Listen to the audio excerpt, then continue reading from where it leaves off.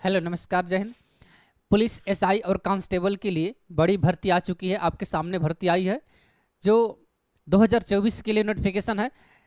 लेकिन इसमें फार्म कम पड़े हुए हैं फार्म बहुत कम पड़े हैं। अतः अगर आप फार्म डालना चाहते हैं तो 30 तक इसकी लास्ट वैकेंसी आज 20 तारीख है और 30 तक इसकी लास्ट डेट है। आप भर सकते हैं। इसके बारे में सब कुछ आपको डिस्क्राइब कर दे रहे हैं, कहाँ से कैसे क्या करना है, सब कुछ बता दे रहे हैं। लास्ट डेट इसकी 30 तारीख है।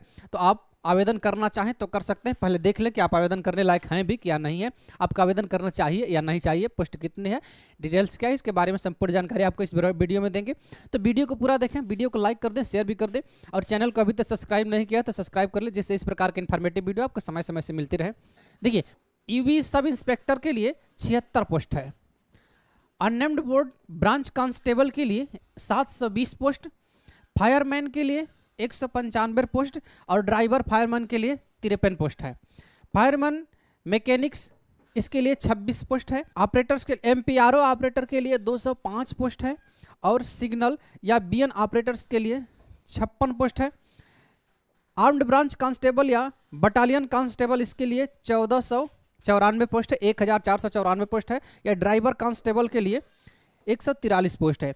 कुल मिलाकर दो हज़ार नौ सौ अड़सठ उनतीस सौ अड़सठ, अर्थात दो हज़ार नौ सौ अड़सठ पोस्ट कुल मिलाकर है। तो बहुत ज़्यादा पोस्ट नहीं है, लेकिन बहुत कम भी नहीं ठीक ठाक पोस्ट है, अच्छी पोस्ट है। आप इसके लिए आवेदन करना चाहें तो कर सकते हैं। इसमें ओबीसी या जनरल से एक सौ पचास रुपये की पेमेंट है और एस सी से भी एक सौ पचास रुपये की पेमेंट है, यानी कि सबसे एक सौ पचास रुपये की पेमेंट मांगी गई है। पे स्केल जो है बीस हज़ार छः सौ से छियासी हज़ार चार सौ पे स्केल है अलग अलग लेवल पर है। लेवल अभी बात कर रहे हैं। एज लिमिट अट्ठारह से लेकर सत्ताईस साल एज लिमिट है। छूट को छोड़कर, इसके बाद अपर एज में छूट भी आपको दी जाएगी। जिस कैटेगरी से है, उस उस अनुसार आपको छूट दी जाएगी। लेकिन सामान्य एज लिमिट अठारह से सत्ताईस साल है। सिलेक्शन प्रोसीजर की अगर बात करें तो सबसे पहले आपका फ़िज़िकल इफिशियंसी टेस्ट होगा। पीईटी सबसे पहले होगा, फ़िज़िकल का इफिशियंसी टेस्ट। उसके बाद रिटर्न टेस्ट होगा, एग्ज़ाम उसके बाद होगा, और तब उसके बाद इंटरव्यू भी होगा। पर्सनल इंटरव्यू भी होगा, कुछ नंबर के इंटरव्यू भी होंगे। कितने नंबर के होंगे, आगे आपको दिखा रहे हैं। एलिजिबिलिटी की पहले बात कर लेते हैं। यूबी सब इंस्पेक्टर के लिए ग्रेजुएशन होना चाहिए ग्रेजुएट होना चाहिए ग्रेजुएशन एलिबिलिटी मांगा हुआ है। Unarmed branch constable fireman driver fireman या फायरमैन मैकेनिकल्स या एम ऑपरेटर या सिग्नल ऑपरेटर इत्यादि के लिए ट्वेल्थ पास होना चाहिए। बारह पास या इसके इक्वलेंट जो भी हो, बारह पास के इक्वलेंट वो होना चाहिए। आर्म्ड ब्रांच कांस्टेबल या बटालियन कांस्टेबल के लिए, इनके लिए नाइन्थ पास होना चाहिए। टेंथ भी फेल है नाइन्थ पास है तो चलेगा आपका, लेकिन नाइन्थ पास का अलग प्रकार है, अभी बात करेंगे उसके संबंध में। इंपॉर्टेंट डेट्स इसके बारे में बात करें तो स्टार्टिंग एक अप्रैल से ही है, एक अप्रैल से स्टार्टिंग है हालाँकि सरकारी रिज़ल्ट पे आपको नहीं दिखा रहा होगा, इसलिए आपको नहीं पता चला होगा। स्टार्टिंग डेट एक अप्रैल है और तीस अप्रैल इसका लास्ट डेट है। अर्थात एक अप्रैल से तीस अप्रैल तक इसके लिए आवेदन कर पाएँगे। फ़ीस के बारे में हमने बात कर लिया, एक सौ पचास रुपये सभी से ली जाएगी, एक सौ पचास रुपये की फ़ीस।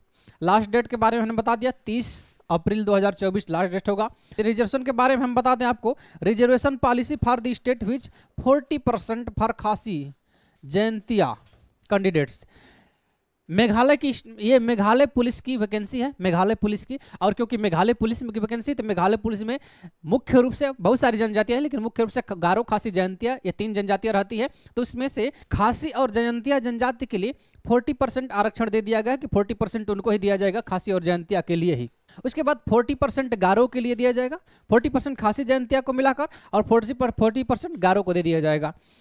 उसके बाद फाइव परसेंट अदर ट्राइबल्स के दे दिया जाएगा। मेघालय के अदर अलग जितने भी जनजातियाँ हैं, उनको फाइव परसेंट दे दिया जाएगा। तो फोर्टी फोर्टी अस्सी और पाँच, पचासी परसेंट हो गया। उसके बाद पंद्रह परसेंट जो है कि ओपन कैटेगरी बाकी जो पंद्रह परसेंट बचा, पचासी परसेंट के बाद पंद्रह परसेंट जो बचा, पंद्रह परसेंट ओपन प्रकार का होगा, जिसमें सभी लोग भर सकते हैं। तो पंद्रह परसेंट कोई बहुत ज़्यादा नहीं है, लेकिन आप आप मेघालय से बिलोंग करते हैं तो आप इसके लिए आवेदन कर सकते हैं। बाकी आप बाहर से आवेदन बिलोंग करते हैं तो कोई मतलब नहीं है क्योंकि बहुत ज़्यादा अट्ठाईस वैकेंसी नहीं होती है। उसमें से केवल पंद्रह परसेंट आपको। तो बहुत ज़्यादा वैकेंसी है नहीं। तो मेघालय से बाहर का हैं? तो आप आवेदन ना करें तो बेटर होगा। बाकी मेघालय से हैं आप तो आवेदन कर सकते हैं इसके लिए। स्केल जो है कि सैंतीस हज़ार आठ सौ से छियासी हज़ार चार सौ इसके लिए इसके लिए पे स्केल होगा। यहाँ से आप देख सकते हैं टोटल वैकेंसी उनतीस हज़ार उनतीस सौ अड़सठ वैकेंसी। यहाँ से किस प्रकार के अलग अलग कैटेगरी वाइज वैकेंसी आप देख सकते हैं यहाँ पर। टेस्ट की बात कर रिटर्न एग्ज़ाम की बात करते फ़िज़िकल इफिशियंसी टेस्ट सौ मार्क्स का होगा। रिटर्न एग्जामिनेशन टेस्ट तीस, तीन सौ मार्क का होगा और इंटरव्यू पचास मार्क का होगा, यानी कि टोटल चार सौ पचास मार्क्स पर आपके मेरिट बनेगा। इसी प्रकार से इसमें चार सौ पचास मार्क पर बनेगा और ए बी कैंडिडेट्स के लिए ढाई सौ, एक सौ और पचास, यानी कि चार सौ पचास मार्क पर सबके लिए चार सौ पचास मार्क्स पर मेरिट बनेगी। ये वैकेंसी जो है गवर्नमेंट ऑफ़ मेघालय, अर्थात मेघालय पुलिस की वैकेंसी है। आप यहाँ पर देख सकते हैं, government of Meghalaya Meghalaya police. तो यहाँ पर मेघालय पुलिस का जो है कि मुहर भी लगी हुई है। तो मेघालय पुलिस की वैकेंसी है, जो एक अप्रैल से चार अप्रैल के बीच इसका आवेदन है। हालाँकि सरकारी रिज़ल्ट पर नहीं दिखा रहा, इसलिए आपको नहीं पता होगा। वीडियो अच्छी लगी तो वीडियो को लाइक कर दीजिएगा शेयर भी कर दीजिएगा, और चैनल को अभी तक सब्सक्राइब नहीं किए हैं तो सब्सक्राइब कर लीजिएगा, जिससे इस प्रकार के इन्फॉर्मेटिव वीडियो आपको समय समय से मिलती रहे। द्रोण जी रिसर्च सेंटर के साथ बने रहने के लिए आप सभी का दिल से बहुत बहुत धन्यवाद।